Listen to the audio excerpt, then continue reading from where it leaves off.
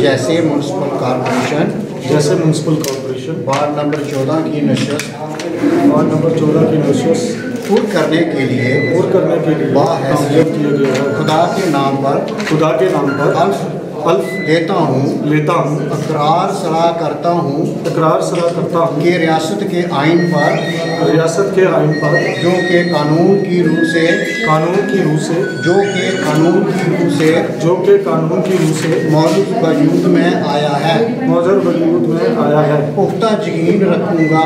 पुख्ता यकीन रखूँगा। और इसके नहीं। और इसके कहीं और इसके नहीं।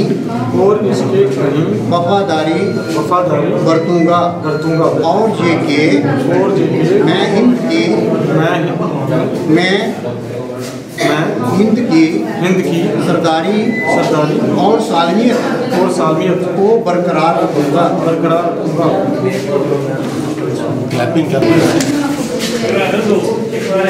ठीक है। एक सेकंड जी।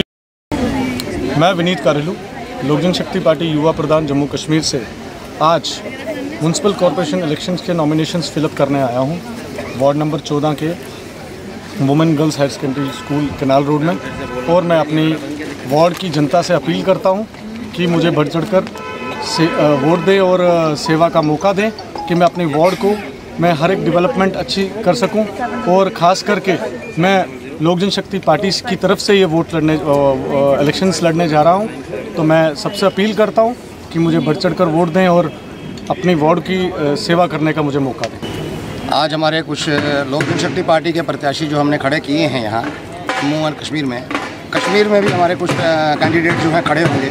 जिनका मैंडेट चला गया है जिनको मैंडेट दे दिया गया है। जम्मू में भी कुछ लोग हैं, उधमपुर बनहाल, रामबन, हर एक जगह से हम लोग कैंडिडेट खड़े कर रहे हैं। और आज हमने कोई पाँच नॉमिनेशन फॉर्म फिलअप किए हैं। कल लास्ट डेट है, कल भी कुछ लोगों का नॉमिनेशन होगा।